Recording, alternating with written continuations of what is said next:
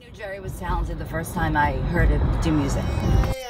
It's funny how the daytime could make the nighttime lose its shine. I come from New York, I guess I got a New York state of mind. I've seen him for years working on this craft and perfecting this craft.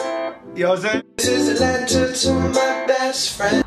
There's nothing else that can explain that. This did not happen overnight, and this is not easy, and this is a daily grind. And he was successful in, you know, his songwriting, and he started producing. I sat him down. I said, "Listen, man, I just want to really assess who you are as an artist because they're trying to hone you into this one little genre. The beauty of your art is that you write your own shit and you don't get told what to say." And the pieces just started coming together. It's not something you're gonna see every day. Someone coming from a songwriter to building their artists as themselves. Like the music thing, it's nothing new to me. You know, I've been around a few artists, and this right here is just is something special. You know, like it's crazy to see the response from the people in a short time.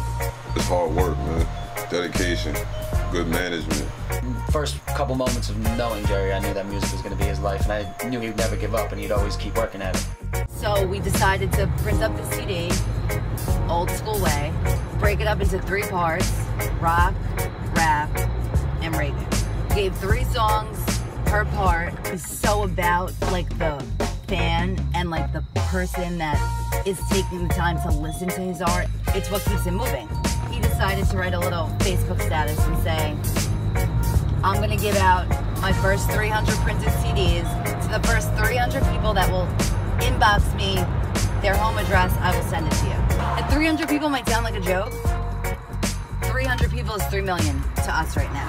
All right, so pull up his inbox. Whoever wants a CD, send him an address. I'm literally still scrolling. Still scrolling. Still scrolling. Yeah, I'm still scrolling. And every single person counts. And I believe in what we're doing. I'm not gonna stop. Get these thousand CDs out. I'm telling you, these numbers are going to. I come from New York, I guess I got a New York state of mind. It's funny how the daytime could make the nighttime lose its shine. I come from New York.